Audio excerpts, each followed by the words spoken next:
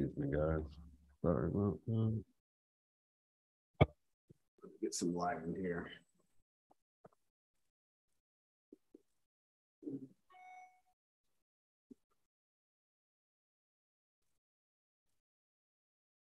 All righty. I think I'm ready to roll here. Excuse me, guys. Sorry about that. Cool. So we're live on YouTube.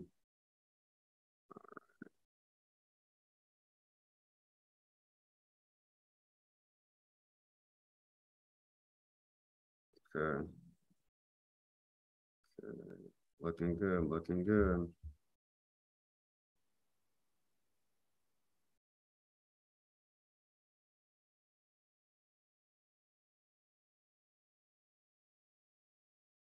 All right. Let's go ahead and record this sucker. Hey, thanks everybody for joining. Um, hope you're having a great day here. I know this is noon, the middle of your day. Um, guys, so I'm going to jump right into this. I felt compelled to create this training because I was, I've been talking to people a lot and I've been having to educate them on their thought processes as because they've been coming to me with a certain thought when it comes to outsourcing um, certain job roles in their company. Let me give you an example here, guys. Somebody wants to hire a lead manager or a cold caller, and they're coming to me saying that, hey, I want to hire this cold caller, but are this lead manager, but they want them to do acquisitions, lead management, and they're trying to hire one person to do everything. And they may be an American to do this, or they may be putting too much on their Filipinos plate. All right, guys, our employees are not superhumans, just like us. We guys, we cannot, we can only do so much in a day, and we only have certain skills. One thing I've realized is that a lot of people think vir- Filipino virtual assistants, they can just give them anything to do. And I thought I had that same thought process. I literally did. I thought Filipino virtual assistants were um, you could just give them a, a task and they could just do it all. But guess what, guys? I realized that Filipino VAs are just like us. They're people and they have specific skills. And I found myself blaming blaming them for the inadequacies in my business. And this is a big, big issue. And it took me some soul searching and also having to, you know, talk to a few other people and then be realistic with me and say, you might want to look at their skill sets to see if you're actually one providing the training and support that they need when they come into business am i just putting them in the business and just letting them go uh, and just just call people? Call sellers or giving them random tasks without having any sort of um, vision for them? I've done that before and that can contribute to your vas not showing up. And guys a lot of times too your virtual assistants especially filipinos they are so loyal to you. And we want to, uh, my whole mission here is to find a sidekick for every investor. You guys, to, to make 50,000 or even six figures a month investing, wholesaling, you only need like two core people in your company, in-house employees. I'm going to talk about that later. In-house versus out out outhouse, um, outsourcing employees, right? So you only need probably like two core people, your lead manager and your operations manager. Then you can outsource cold calling. And that's another thing too, guys, is the closer that you get to um the closer that your virtual assistants get to you as far as making decisions, the higher IQ that they need to have, the more um the more uh, strategic thinking skill sets they need to have. Right. I don't need my cold caller to be able to have a PhD. He doesn't need to have a PhD or a law degree hey, can can you breathe? If you could breathe and and and and go through my script, you can do that job. And there's a particular payment, left or right limit payment limits that we have for people. We don't need somebody that is exceptional at English and negotiations just qualifying.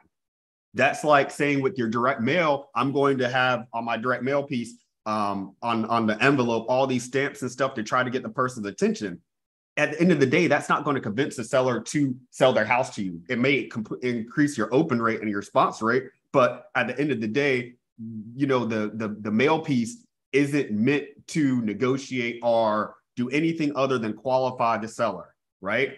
And I want you guys to look at your business as if it's a franchise. And think about McDonald's. Some McDonald's franchises are making 20, 30, 40,000 dollars a week with the average age of those people being 15, 16, 17 years old. And I've seen over time they made these the the the processes at McDonald's so stupid, so stupid simple.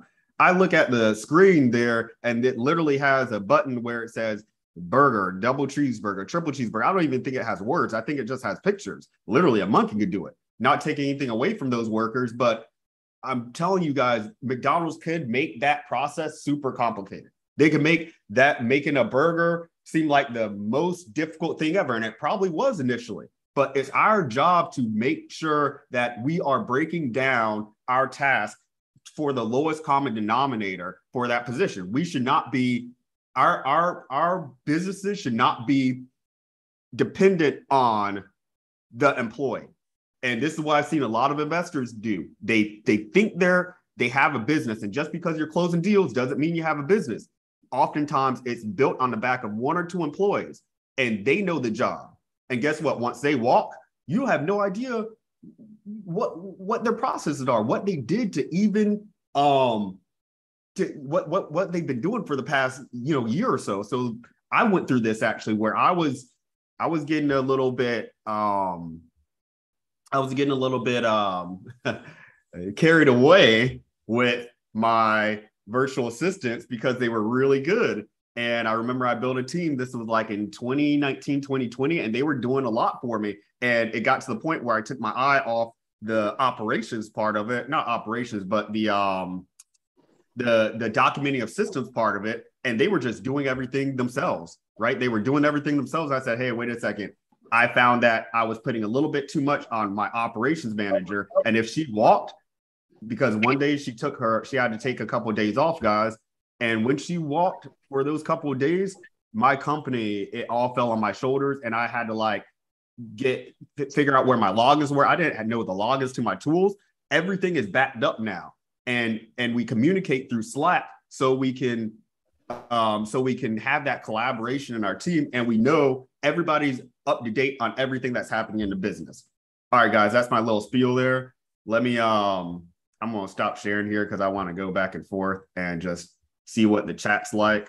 Um, guys, hey, communicate with me. I, I, this is live, so I don't. I just don't want to be like talking um, to myself this is a perfect time for us to for us to drop some questions here. I'm going to be going through this workshop, but uh, I'm going to be asking your feedback over um, during this call.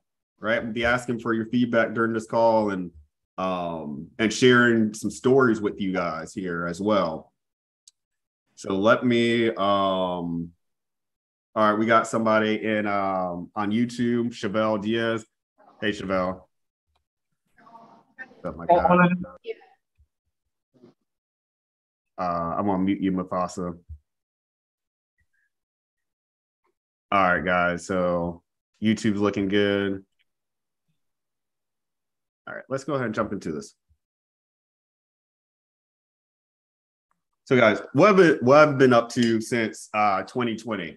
So, reason why I start this date is because this is when I really start to get serious about um, op- systematizing my company. And let me tell you guys what that word means because processes and systems get thrown around so much. Guys, if there's something that you do on a daily basis that that's over and over again, you know, and majority of the stuff that we do in our company is uh, we do over and over again. Uh, that needs to be turned into a system. That needs to be turned into a system. That needs to be turned into a process. What was happening to me is this I was having this revolving door of talent coming in and out of my business. Guys, I tried this with Central American virtual assistants, Americans, um, you know, Filipinos, Indians, Pakistanis, guys, every single um, ethnicity I attempted to hire. And it's important because I say ethnicity because there's certain um, really regionally certain individuals uh, or certain countries specialize at certain things. Like the Philippines, they specialize in BPO, customer service. Indian, uh, uh, India, and Pakistanis, I've noticed that they specialize really good when they um, when they're outsourcing with tech stuff like building websites. So when I was, I started to notice this, and I realized that even if I was, I was trying to hire somebody from Pakistan to do cold calling from me or India guys, that's just not going to work. I'm telling you because India unfortunately has a bad rap because a lot of people get scammed by these Indian like um you know uh, scamming. Uh, they have these scamming warehouses and stuff. So that's just an area we're not going to go towards. But I do hire um, Indian virtual assistants for working on my website, right? So understand that there's you got to know where to look and what you're looking for, and you can't fit a square um, a square peg into a circle, meaning trying to hire virtual assistants um, to let's just say trying to hire a three dollar virtual assistant to do acquisitions. How, how yeah, you can pay them three dollars. How motivated do you think they are going to be, and how qualified do you think they are going to be to do that job? Right, you might need to pay them a little bit more to get um to get solid talent. So that that's another thing I've seen. A lot of people want to pay their VAs the most minimum amount in order to um, and, and try to load them up with a lot of work. And I'm going to tell you guys how I, you know, sort of mitigate that and get around that. But let me tell you guys what was happening back in 2020. Um, I had, I was hanging out with my friends one night and I had this executive assistant that I hired from, I think it was either Upwork or freelancer.com. And she just didn't work out. It was on both of us now that I look back on it. But um, I didn't really know what to train her on, but I had her doing some things, and I and I probably had her um, go in my business and do some things in my business, and gave her too much access initially. And this scared me for a couple of months from hiring VAs.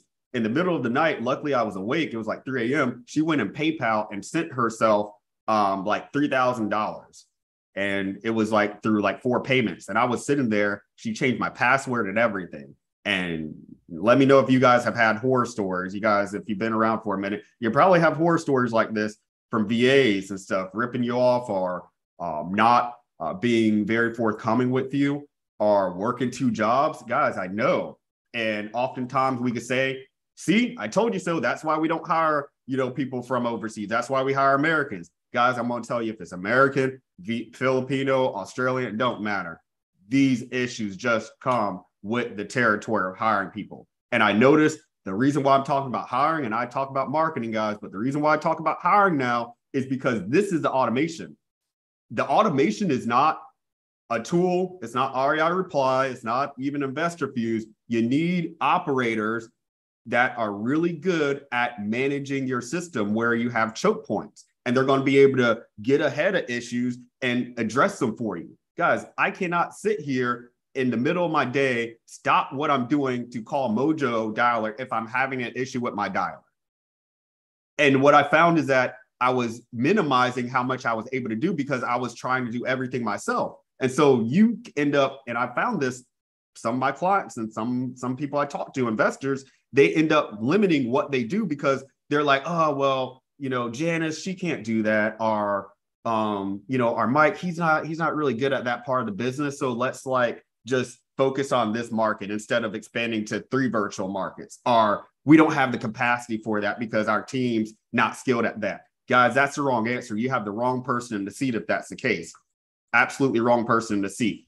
If you're over here making excuses for your va and minimizing your goals based off of them.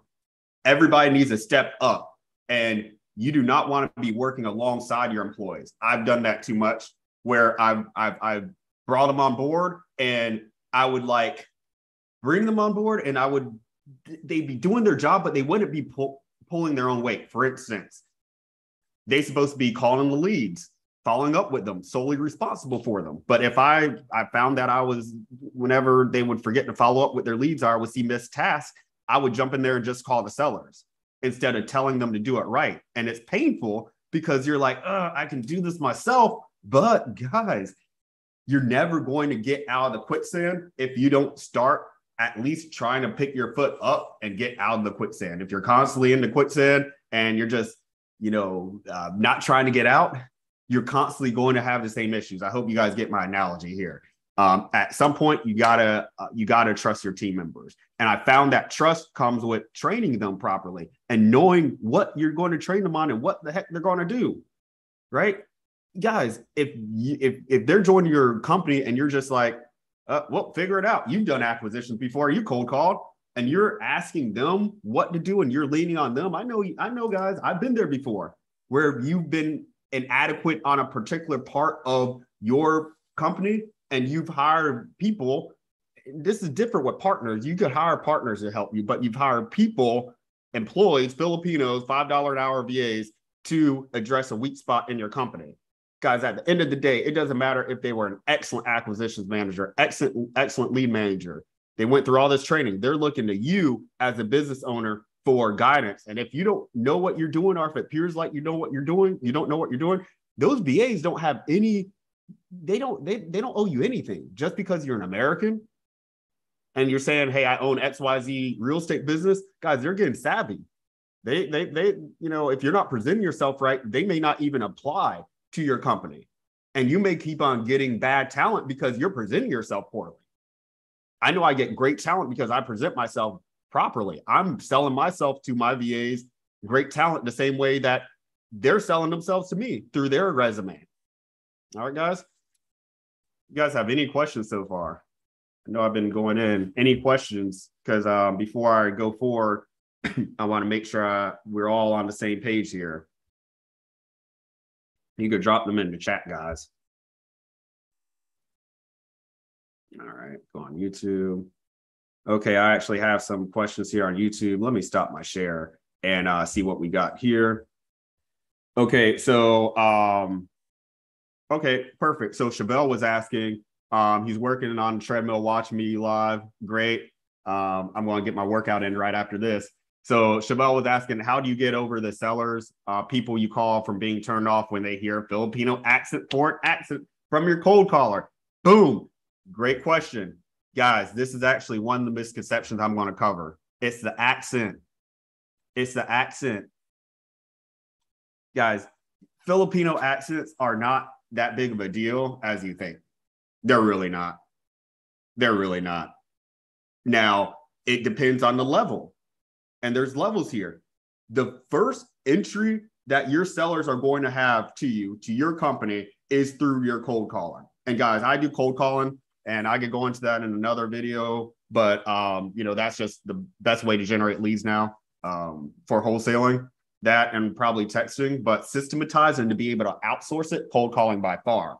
So I hear a lot of people say, "Hey, their English is not good, therefore they cannot do their job." And I will say there is a direct correlation between somebody's English comp- comprehension, even in the states, and their um, their common sense or their ability to do the job, uh, do, do a complex job, especially if their first language is not English.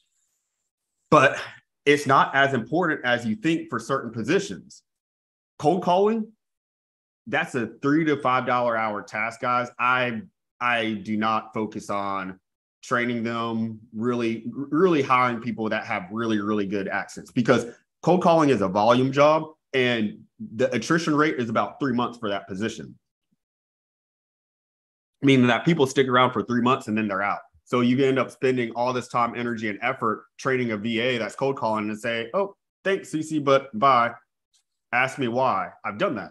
I've done that, and I realized that when it comes to cold calling, there is nothing you can do outside of having your caller call more hours in a day to get more leads their the absolute capacity is probably five on a really good day, and that probably happens once a month, probably once a quarter. You're over an eight-hour shift, you expect your cold callers to get one to two leads. Three leads is great. Four leads is really uncommon. Five leads is atypical. So what does that tell me? That tells me that, and and, and guys, I was having people, I was having Americans do this. I split tested this. Americans, Central Americans, I was paying people $12 an hour, $3 an hour. I found the sweet spot was around $5 an hour. And they have to have a script and they have to have a process that they're following. Now, I've realized that you do not have to have virtual assistants that have really good English if you provide them a script with cold calling.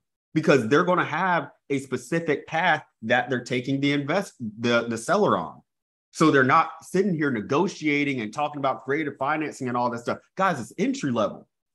And you're going to look so much more put together too by having different departments in your company. But the seller being, um, you know, uh, you know, vetted through your cold caller, then say, okay, hey, sounds like, um, you know, this this is a property we want to work with. Let's go ahead and get you to our um, our our acquisitions team. All right, see if they could um, work out a, a, you know, give you an actual offer for this property, and that's when they go to your lead manager, guys. All right, that's where they go to your lead manager, and your lead manager's English needs to be um, a lot better. Now, I I work my like my lead managers, their English has to be better because they're closer to my sellers. Right, cold calling is just general broad. It doesn't matter if I call. If I if I call the same amount of people that my VA calls cold calling, I'm probably going to get the same connection rate. I'm probably going to get the same amount of hangups because it's a cold call. Do we have somebody live on the phone that's breathing and owns the property? We don't overqualify. I'm fine with underqualifying them and letting more people in my pipeline and then me deleting the leads when they come in my CRM, then my cold callers having to overthink and, and end up screwing themselves out of leads. So it's important. That's just like that that 15 year old that's working after school at Wendy's, like me. I was working at Wendy's or McDonald's, and you know, you need to be able to train them within 24 to 48 hours to start producing for you. Right? You know, it doesn't make sense to train a cold caller for months. What? And then a lot of people think cold callers could make lead managers and acquisitions managers. No, cold callers, guys, they are, you know, they're they're the lowest barrier to entry right there. So that's not an important issue acquisitions and lead managers, absolutely. Absolutely. Their English has to be better. And I'm telling you, one thing that I started doing in my company is I hired an English accent trainer. So we have somebody that I found um, I found through my network, and she's from the Philippines. Her English is awesome, and so she's helping my team get their accents better. Everybody, from my operations manager all the way down to my cold callers, they have to have a 30 minute and one hour call with her a week to work on their accent, specifically when it comes to and grammar, just talking to talking to people, just shooting the breeze, right? Not sounding like a robot. The way that I'm able to get ahead now and and and seem different is because my VAs actually have personality. Everybody else's VAs, some of you guys on the call probably have VAs that sound like robots, and you know that that's why that that could be an issue. Why um, you know you're not converting leads and not um, getting a lot of people um, that are interested in your offer simply because they think that they're just talking to a robot. And when your cold callers call as well, you got to make sure that they know that somebody else is going to be calling them after that. And you guys actually pick up the phone and call because I cannot tell you how many people that I've followed up with that said, man, I've, I've, I've given this information to 30, 40 people, and you're the only person that called back because the lead probably looks cold and I'm not motivated to call as an investor, but my lead manager, I'm paying five to six dollars an hour, he can call. Just like in McDonald's, if I'm the owner, somebody has to get popped by grease and somebody has to be uh, fixing those fries. Does it have to be me, the owner? No, but somebody has to do this. That's how you need to start looking at your business, guys. Okay. Great question, guys. Great question so far. Let me see what else we got over here. Um, that was a good question, Chevelle. So let me go ahead and go through my um my presentation, my friend, and then I'm going to get to some of your questions, guys. It, it, drop them. I'll get to them at the end here. Like I said, this is interactive. I'm not. Um, it's 12:28 p.m. Eastern time. I'm not. Um, this isn't pre-recorded or anything. So, okay. Um, I skipped around a little bit. Okay, yeah, let me go ahead and talk a little bit uh, about what I've been up to. And then I wanted to actually show you guys some resumes here of some VAs and just some tips that you guys can take when you're hiring going forward. Um, so what I've been up to, guys, since 2020, I've hired over 300 VAs. Like I was telling you earlier, it's a good coffee. Like I was telling you earlier, I realized that I I was not retaining talent now hiring 300 VAs, you're like, oh, that's awesome. But that's a lot of trial and error with figuring out what works and what doesn't work. And I'm glad I went through this because now I could share with you guys what's actually important, what actually you need to be focusing on in your company when you're hiring these people. Guys, when even when just even when you're trying to go through applications, you want to have your people jump through hoops. And there's things that I look for in my VAs that I may not even put out there in my that I'm looking for my job application. What, what do I mean by this? So when I post a job announcement, I may say, hey, submit your 16 personalities, personality type, and your voice mem and um, a voice recording. I don't ask them for their resume.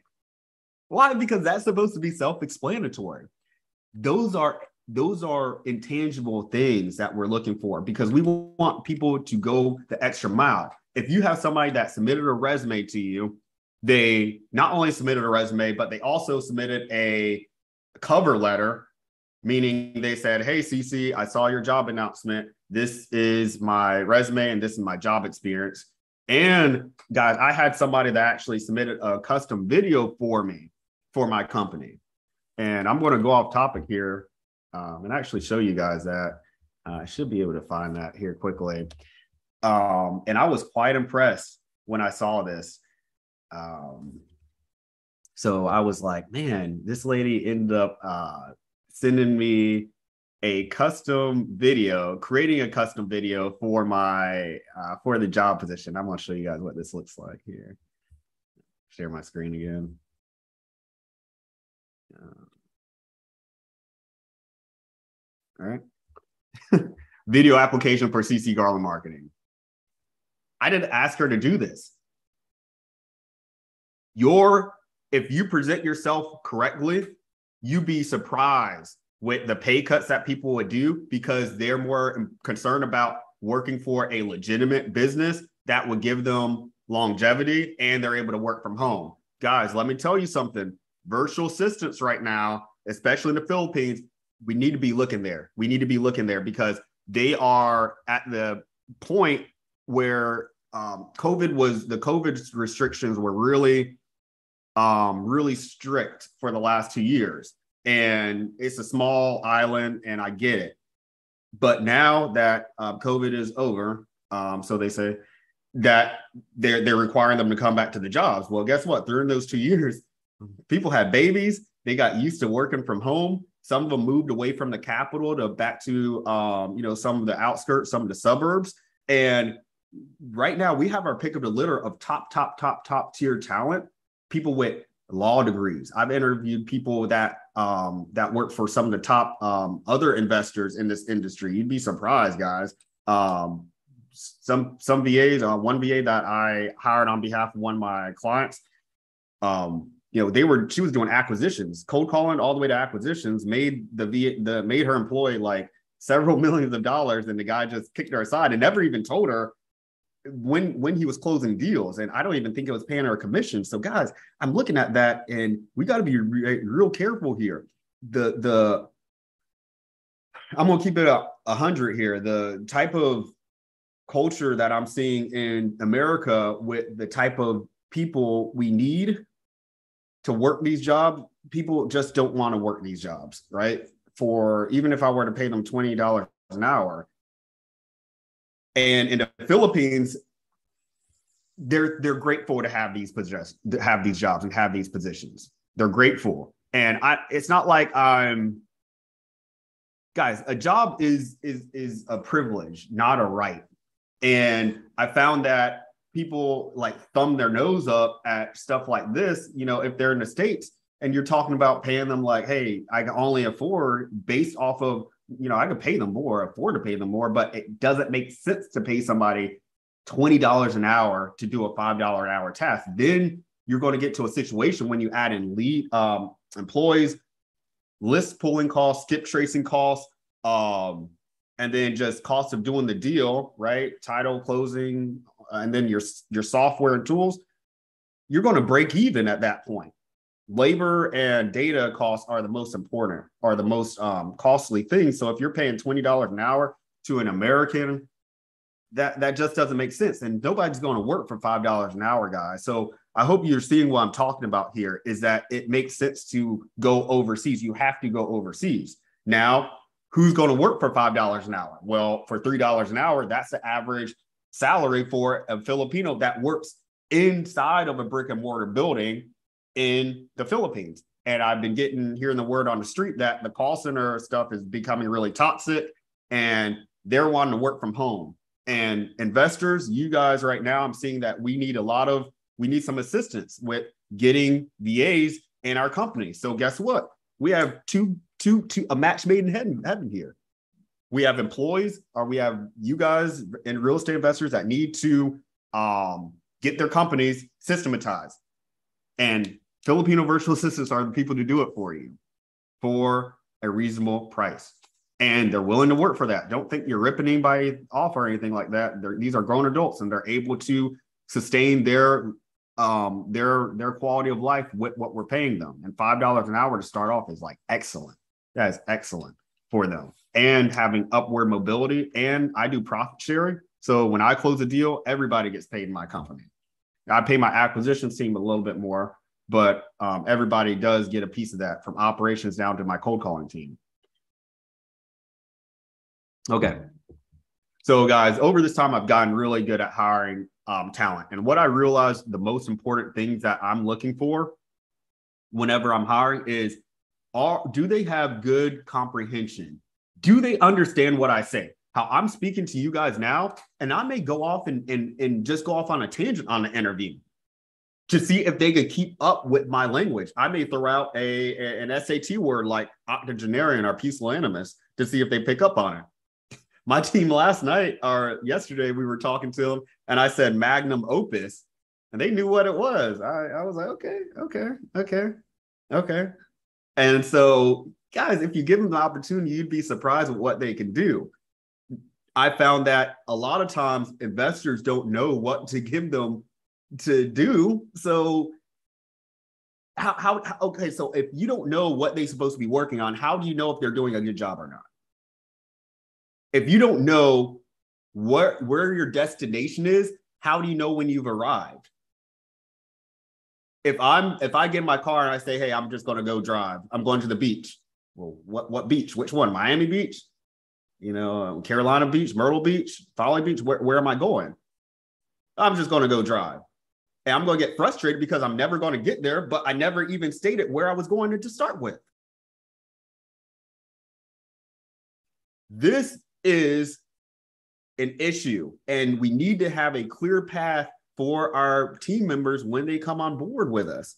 A training path. We need to have a we need to have a a a clear schedule for them to follow and, and and support system when they come on board. Something as simple as having Slack. You know, I got my people. I'll open up my Slack um, workspace for you guys to hear see. So I got all my teams here in Slack. Yeah, second. Right. So I got all my teams here in Slack. Um, you know, this is my op- my leadership team, and um, I got Alex here, right? And then I got my other team here. I don't want to reveal anything proprietary, but um, these are I I have a company rhythm, and so you want to make them feel like they're part of a team. What I realized is when I had a cold calling team around this time last year, I had like 50 cold callers, and I was had them for myself and for other investors. They wanted me to manage them. That was a little bit too stressful, but during that time, I realized that they're working their own shift on the opposite side of the world by themselves at home, and it may just be them. Well, what I found out is that they had their own little chat room in Skype or in Slack where they were talking to each other, sharing memes and stuff. I said, ah, community is really important. Culture, right? Culture doesn't mean just being nice and you know, um, sharing one good thing that you did over the weekend. No, it means like, hey, having a rhythm. Okay, every every Monday morning we're going to have a, a team training, right? And then share the share the wins, share the losses that we've had over the last week. Keep everybody on the same page. You don't you don't want to just hire somebody and then the next time you meet up with them is when there's an issue and you're reactive. or you don't want to hire anybody because you have all this stuff going on in your business and you're like, oh, okay, now it's time to hire somebody. That's hiring somebody from the wrong place. And what's going to happen, you're going to have this accordion effect or the slinky effect where they get on board and they put all your fires out. Then you're not going to have anything for them to do because you hired a firefighter, not, not somebody for a particular role. And you'd be surprised with how much one person can do in your company if you have a particular role for them. And what I mean by that is one critical task and maybe two secondary ones. For instance, our lead manager. Lead manager's job is what? To call, uh, to follow up with sellers, to vet them and follow up with them as soon as they come from our cold calling team. And after they call, they follow up with them. It's them to, it's their job to determine is this lead cold, warm, or hot. Do I follow up with them in a month, two, three months, or do I give them an offer right now and, and an exact offer through email? That's the exact path. It doesn't change every single time. So we know when we bring somebody else in that I can actually have my lead manager start training their subordinates. And guys, I've done my training with my personal team once this year. And after that, they train everybody internally. Other people that have me training their people, I do that. I've been doing that training, but internally, my team members train themselves, right? If I have somebody who's an operations manager, hey, Jay, get on the call with, you know, Alex. Teach him how to log into Podio. Teach him how to log in into InvestorFuse. Teach him how to um, send emails off. Teach him how to draft up offers, right? You'd be surprised once you start putting your documenting your processes every single step. Guys, just try this. Just one thing that you're doing in your company. Just say it's it's it's, it's acquisitions. Just document it. 10 step acquisition process. And then you'd be surprised with the little steps that are involved, what what people can do if you hire somebody that's just five dollars an hour and you break it into little steps. Now, if you say this is the acquisition process and you know when you're on the call you negotiate and you do this and you do that you may see it may seem like it all falls on your shoulder but 80% of it might be able to be done through a va for instance you know let's just say you go and look at um, the mo- three most recent comps within half a mile let's just say you're um, going into MLS and you're um, you know seeing if there's any land or lots that sold around it. You know, doing your due diligence, talking to the you're verifying the owner, checking the register of deeds, doing a like title search. Well, if that's part of your process and you document that, you're like, okay, wait a second. In my 10 step process, there's seven things here that I do over and over again that a VA can really do. And in your acquisition process, boom, it's you that are heading acquisitions, and you can have a junior acquisitions manager that's doing part of it.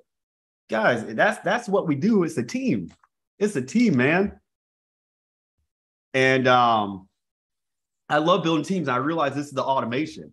And your job as a business owner, what I do, guys, is I cheerlead and I train and I coach. So the training happens when the first week when they're on board. That's the same and coaching happens weekly, right? So I'll hop on a call with my lead manager. We'll go through the leads. Okay, tell me what's up with this lead, that lead, and that lead. And he may say, okay, this person's 99 years old. Every time I call them, they can't hear me, but they say they want to sell. How do we figure out that issue, right? That's something that needs to be brought up to me. But there's going to be a lot of other leads that they just need to handle themselves. And they know that because we have processes created. So I say, hey, man, these types of leads don't even need to be brought up to my attention. I found that even if you have VAs, guys, if you can't trust them to do things in your business, it's going to be taking up the mental bandwidth in your mind. You might as well be working on it. If you're concerned about, man, did they follow up with John Smith? Did they get that offer back? Guys, that is stressful. And the next level is having an operations manager like a chief operations officer, somebody who, who basically is a six figure employee. You're paying like $6 an hour and they're able to handle and manage your whole company. So they're not really doing anything per se. They're making sure ev- all the departments are are talking to each other. They're following up with their title company. They're making sure the lot boxes are on the door. They're making sure your properties are listed. They're making sure everything is going through these specific checklists every single time. And then they're making sure that your systems are constantly getting better and better.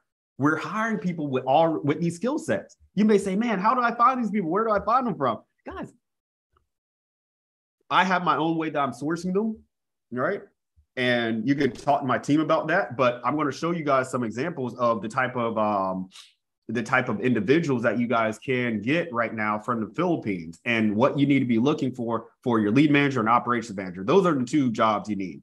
Operations is like general admin, general admin, and they can do transaction coordination. If you're doing less than five deals a month, you could get away with operations lead manager. You could probably get away with a super, super sharp lead manager who's good at operations as well. And so when I say lead management, they're responsible for the CRM, executive assistant of the CRM that's what their responsibility is. You need to, you're going to be able to go to them and tell them, hey, Alex, hey, John, hey, Mike, call this seller. Call this seller and get this information from them. Or hey, set up the appointment for me. So you're not playing phone tag. It's important that they tee up the lead for you because if you have a hot lead that comes in your CRM, you may say, okay, man, let me call this lead. They don't pick up and you forget about them. That's why it's the lead manager's job to to keep you up to date on what's happening with the leads. And there's ways that you do this, guys. There's just there's just ways that you make sure that they is hiring these people to make sure that you're hiring the best people to to to do this for you, and you're not, and you could trust them to do this. Um, let me clarify that a little bit. It could get really stressful if you're not aware or, or you don't even know if your person's touching base with your leads um, are following up with them properly, are putting them, are getting the right information from them. That's why you want to have those weekly calls to go over that information, right? Not every lead, but I tell my team if there's 20 leads that come in over the week, which is what we're doing on average usually in most of our markets, there's going to be about two or three leads that need to go to, I say, the board.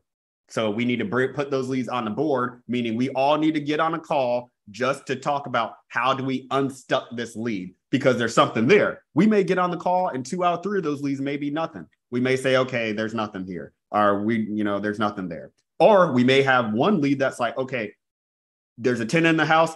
Okay, Alex, we need to get the we need to get the um know if this is month to month or annual. And if this annual if this is an annual lease, we didn't know know when it was signed and when this sucker um and how much he's paying. So you're delegating as the business owner. You should be thinking, guys, and I challenge you guys from this day forward, thinking, what if something needs to be done in my business? Who can do it for me? Who can do it? And I have in my company right now where I can pull, I can pull anybody in my company to do about just about everything. The only things that I have to do are review my HUDs and I still do my marketing, right? Our my zip code analysis and analyze my virtual markets. I do that still uh, because every dollar I spend is based off of getting that right. So I want to actually show you guys a few resumes here, um, if that's okay with you, just of some um, of the talent that you guys can get before I wrap this thing up, and um, just to show you guys what you're looking for and what good talent looks like. So whenever I'm putting a resume out for my employees. Few things I'm looking for are um let me pull his resume up. Give me one second. I closed out um their resumes here. Uh, Alex. And let me go to John.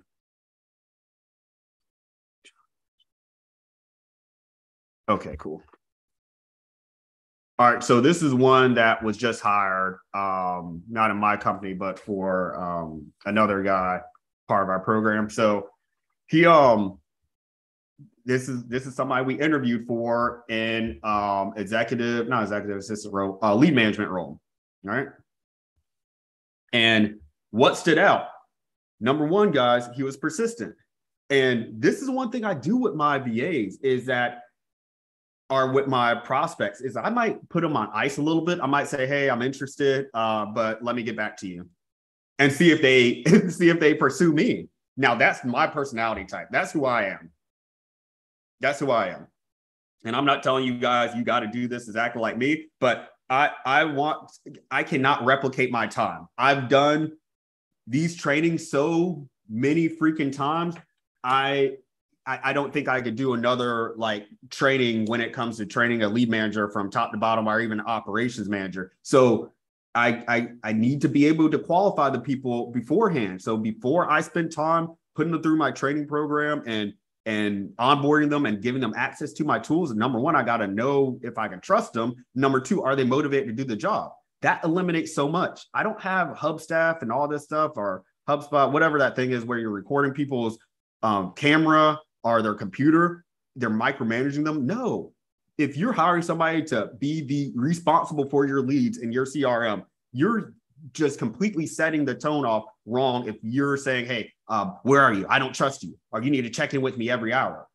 On Slack, they know to send me a good morning message. They know to send put the little pizza emoji up there um, when they're on break, or coffee emoji if they're on coffee break. We covered this in the onboarding training. These are standards we need to cover. If you do not cover these, you're just they can't read your mind.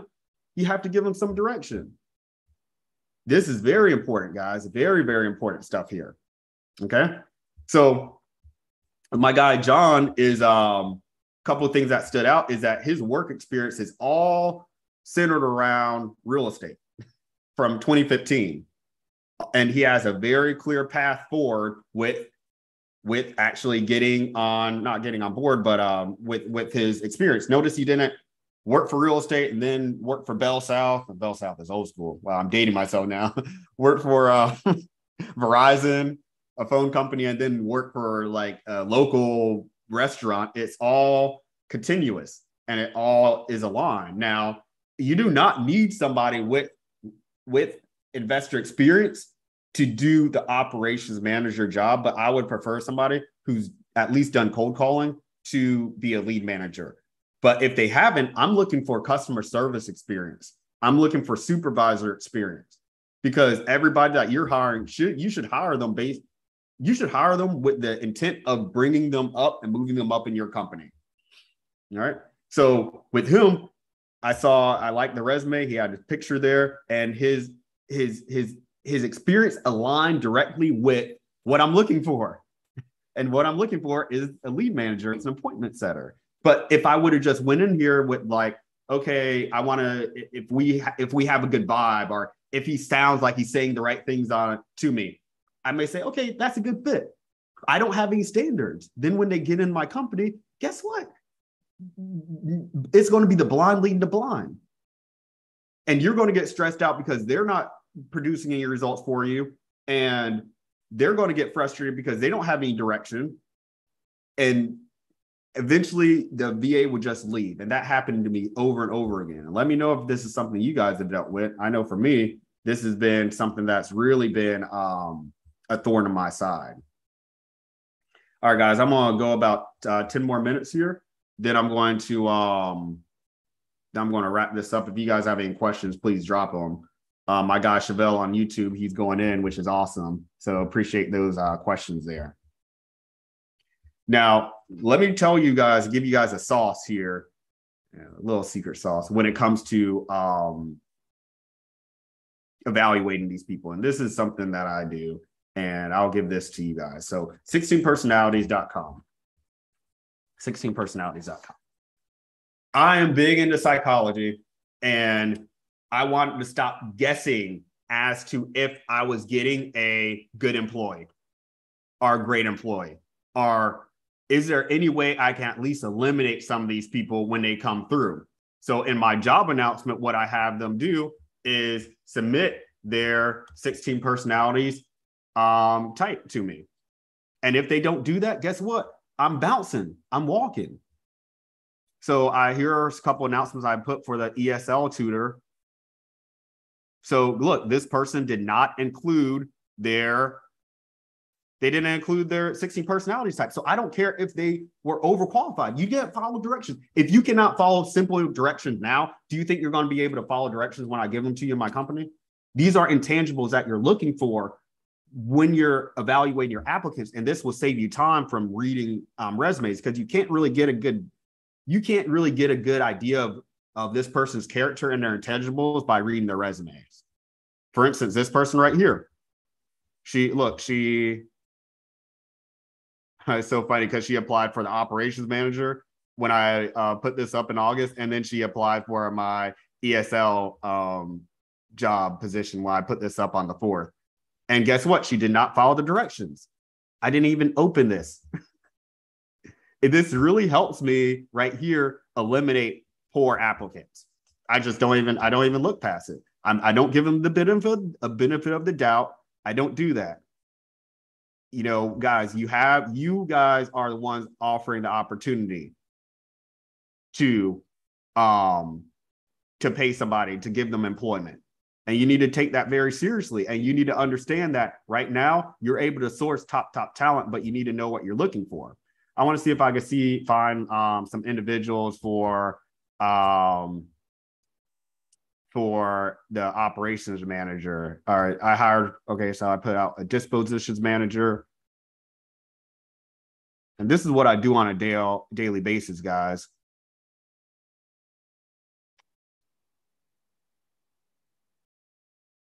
So I'm interested on this role and send an email including my updated resume.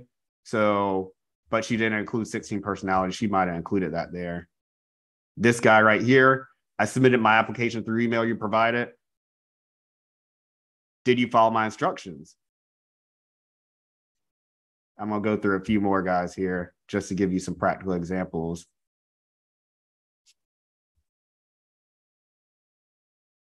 Okay, so this is somebody who went through the instructions. Um, Maricel Denag, and I'm pretty sure I went through uh, a, a, an interview with her. So she actually put her job. This is what I call a cover letter. She put her cover letter here. Okay. And she had her voice snippet. I don't know if you guys could hear this because I got my uh, earphones on, but she gave me her voice snippet and she gave me her 16 personality type. All right. And so she was an ENFJ. All right, guys. So let me get down to it. Here's here's a bit of a hack. You're going to get a lot of people that have this personality type ENFJ. And this is an extrovert, intuitive, feeler, judger. I found that this is like the general Filipino virtual assistant, like majority of Filipino virtual assistants that apply will have this personality type. And I'm very, very mm, iffy on hiring people with this personality type unless they have specific job skills or unless they have job experience, because this is somebody who's an extrovert who's good at um, good at talking on the phone, but they might not be detailed oriented. They're good for cold calling, but are they good at managing my CRM and details? And this is one thing that investors have as well, far as a common misconception, is that they think that because somebody can breathe and talk on the phone and, and has good English, like voice, you know, their their verbal English is good, that they can freaking call, cold call and do acquisitions. That's not the case, guys. What you're doing is you're finding somebody with good English and trying to make them work, trying to fit them in that position. And that's idealism, guys. That's not really what it is. I, I've done that before. Um, let me see if there's somebody else here, right? A lot of these people, guys, did not include their 16 personalities type. They just simply were like, oh, here's um, here's a here, here's my here's my overview, just applied. And so I actually asked this guy to take a 16 personalities test and he didn't respond. So most of these people aren't even going to respond. So you don't even need to chase them down. Okay. Um, I take hiring very seriously, guys. One other thing that I do as well is this is I have them take what's called a, a Clifton Strengths Finders test. Now, this costs money. This costs like 40 bucks. So 16 personalities is free. So you can hire, you can, if you need to hire somebody as an operations manager, you need an introvert. So you know every single person that comes in through that's an ENFJ or an extrovert, they're not good for operations. And you know if they're an introvert, they're probably not good for English speaking. Or I'm sorry, talking on the phone. All right. So that's something I want to just emphasize here to you all. And let me give you an example here.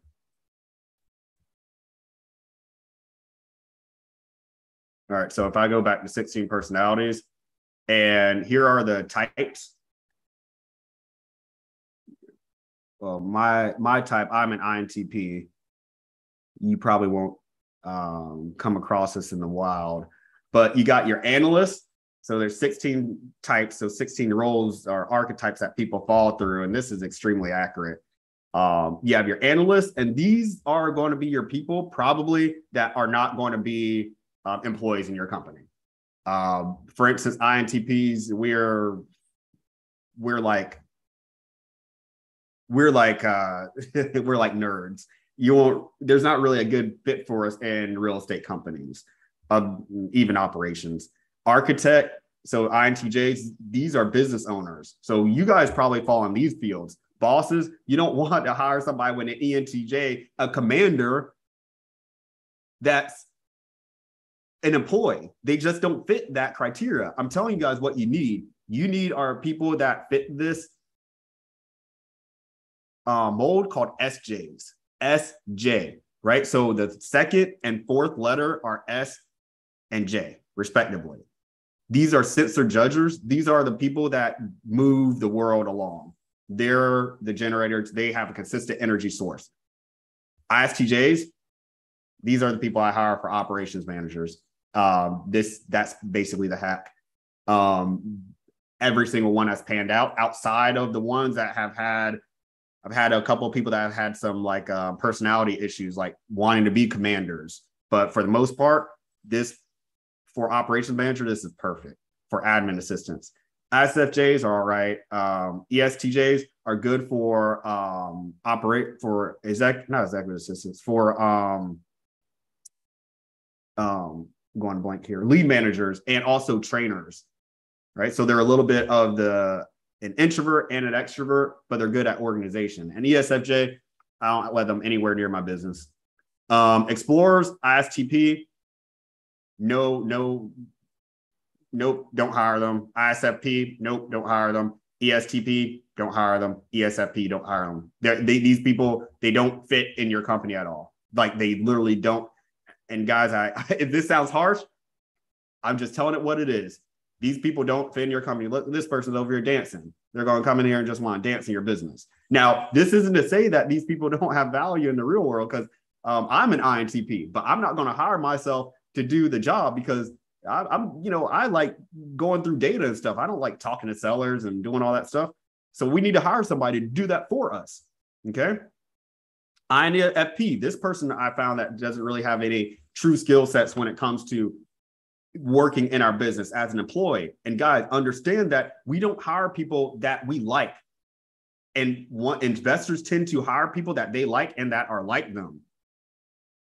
Guys, no, we're not making friends here. We're not bidding to our employees. We're not doing any of that. What we're doing is we're finding people, one person to do the job of three people, not overworking them, but maximizing this individual. If I hire an INFP to do an ISTJ's job, I'm going to end up training this person. Be like, why don't why don't they don't get it? Maybe I need to create more trainings for them.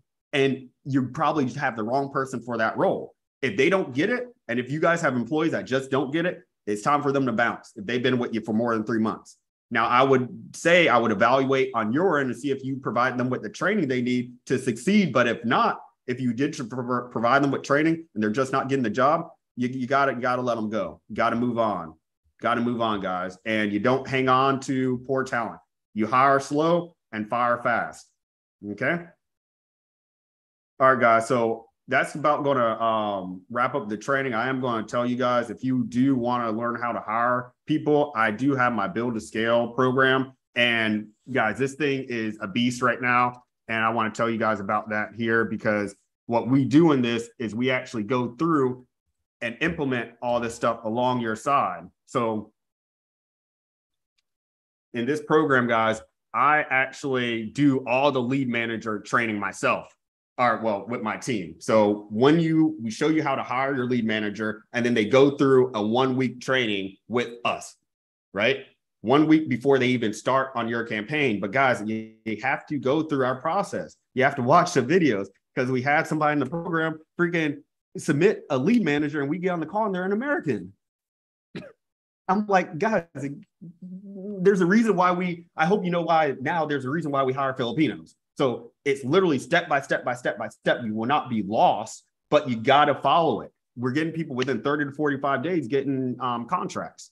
Um, one of my guys, uh, Alex, he has not Alex, Gabe, he has he made 50k in contracts within like the first month. And this isn't a get you deal program or anything like that. It's basically taking all the other programs that you have and making sense out of it, systematizing it. right? What did you do? And what so you learn wholesaling and what are the steps to learning? You probably went through like five or 10 programs. What's important to know and what's not? And there's a specific path that you need to follow to succeed. And every single investment company has these departments lead management, analyzing virtual markets, choosing the best market. If you're a wholesaler, you do not need to be tied to the market you're currently like living in.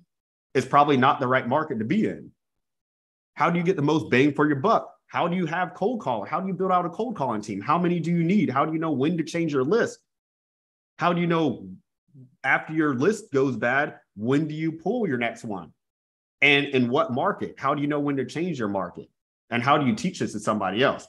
All this is done within about four to five weeks. You can have everything systematized where you have somebody doing basically 80% of this for five to six dollars an hour. And guys, I don't play around when it comes to paying employees. I do not overpay people for their skills. I try to find somebody, if I'm paying $5 an hour, I'm, I want to find somebody that's skilled at $15 an hour. I'm telling you guys, they are out there. They are out there, but you got to know where to look and how to source these people.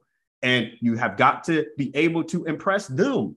You'd be surprised with the people that are skipping over you right now because you're not presenting yourself well. I had a um I had a, a client that I hopped on an interview with because in the beginning back in April I was actually going on the calls and conducting the interviews for people and he was on the call and he turned his camera on. My client had he it was a dark background. I was like, dude, how much confidence do you think that VA is going to have if they they're looking all nice, they're in their suit, they're they're nice um, Sunday's best, presenting themselves to you, and your your microphone quality sucks, and you're all in the background and stuff. That's why I'm there to sort of smooth things over to make you guys look better to make sure that your VAs know that they're coming into an actual system because I've had VAs that come on board and then they lose confidence and they're like, okay, this company is unorganized and they they stop responding over Slack and then they bounce. So as soon as your people are hired, they need to have an onboarding process and a training curriculum. And I found that if you guys are working nine to five in your business or in another not in, a, in another job, your training is going to be put to the wayside. That is so important. And it doesn't take them a long time to get spun up, maybe like a week. And then they can start cold calling to practice and follow up on your old leads to learn. And then after about two weeks, they, they got the job. All right. And one thing we're doing as well is hiring that accent coach to assist go ongoing with your lead manager's um, um, accent. So, guys, this is it. We're enrolling people now. I was keeping this in, you know, like internally. I was only bringing on like one or two people a week, but we're ready to blow this thing up now. Um, we have uh, twice weekly calls. So I have one call with my with my team. So one call with me coaching, and the Facebook group is going to be live, and that's one to two on Tuesdays, and then on Thursdays we have a lead manager call where you give your lead manager the Zoom invite, and once you get their Zoom invite, they're going to they hop on that call. So you guys aren't on there. It's just a one-on-one with me and talking to them and going through and seeing what issues they're having just to make sure they're maintaining that daily rhythm, that weekly rhythm. That's company culture up until you guys have your company culture established, right? And we move fast. This is interactive. This isn't like throwing you in a Facebook group and letting you do whatever. There's a clear path. And like, if I could get your campaign set up by that third week, um, within month two, within 30 days, you know, you should be able to get guys within a week or two, you should be able to get something under contract because it's just a byproduct of you systematizing your company and hiring employees that you're going to get deals. And there's probably stuff in your CRM right now that you're missing. And I want to go find that and get you guys that get you a return on your investment. Like seriously, you spent money on marketing, you probably have leads you haven't followed up with in months or a year. The longer they've been in there, the better. All right, guys. So if you want to sign up, guys, no pressure here.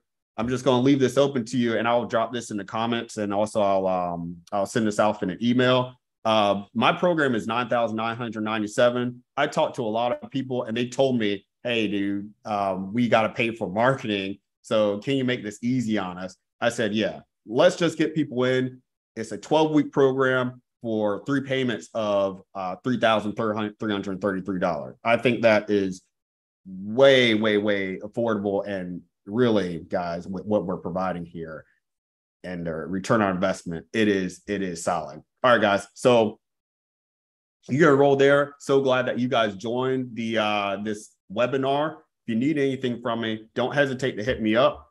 Um, I hope you guys got a lot out of this. I'm going to do these weekly probably, um, and then just go through there. So, guys, um, yeah, hey, so this is going to stay up. Entrepreneur 215, this will be stay up as a recording. All right, guys. So I'll chat with you later. Have a great week.